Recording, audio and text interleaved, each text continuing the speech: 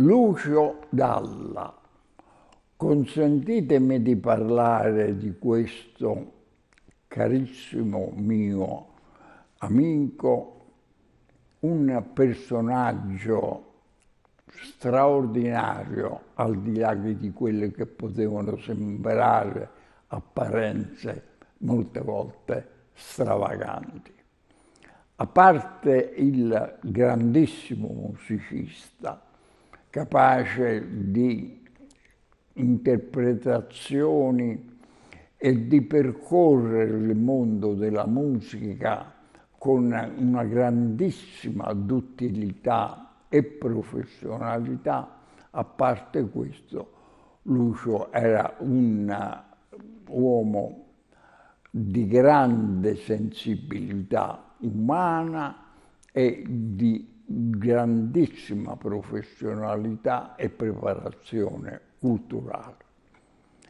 E a me ha fatto piacere sapere che proprio l'altro giorno in commercio è entrato una rilettura, chiamiamola così, di un album famosissimo che è dedicato al mare. Ecco, il mare è stato una passione di Lucio. Da Sorrento alle Tremiti, ovunque insomma ci fosse qualche cosa che eh, lo collegava a questo, come dire, eh, straordinario elemento di natura, ovunque ci fosse qualche approdo, Lucio era pronto ad arrivare. Ecco. E l'album si chiama Quanto è profondo il mare. È una canzone molto bella che ha scritto insieme a Roversi e noi abbiamo, come dire, portato lungo questa traiettoria musicale di prima maniera di Lucio.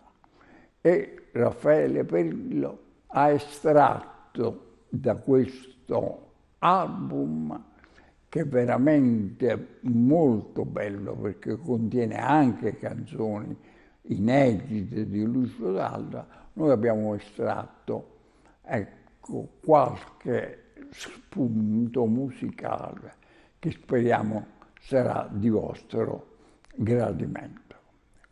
Come è profondo il mare di Lucio Dalla.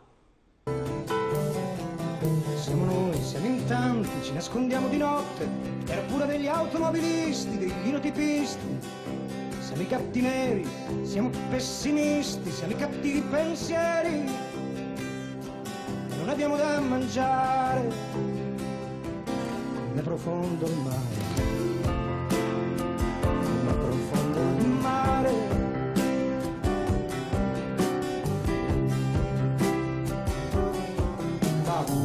Un gran cacciatore di quagli e di fagiani, caccia via queste mosche che non mi fanno dormire mi fanno arrabbiare come profondo il mare.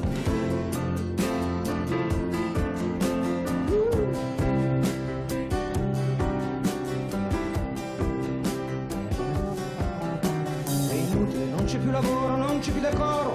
Dio chi per lui sta cercando di dividerci, di farci del male, di farci annegare come profondo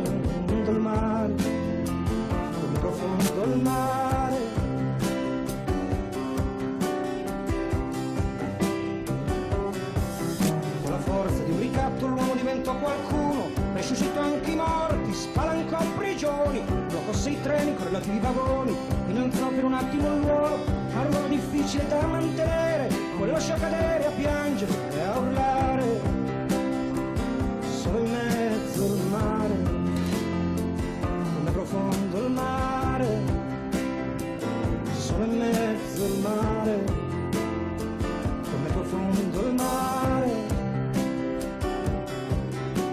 Solo lui diventò un tamburo e il povero come un lampo nel cielo sicuro cominciò una guerra per conquistare quello scherzo di terra che il suo grande cuore doveva coltivare come profondo il mare, come profondo il mare.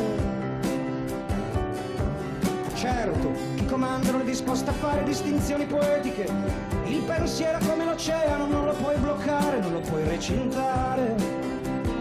Così stanno uccidendo il mare, così stanno piegando il mare, così stanno bruciando il mare, così stanno umiliando il mare.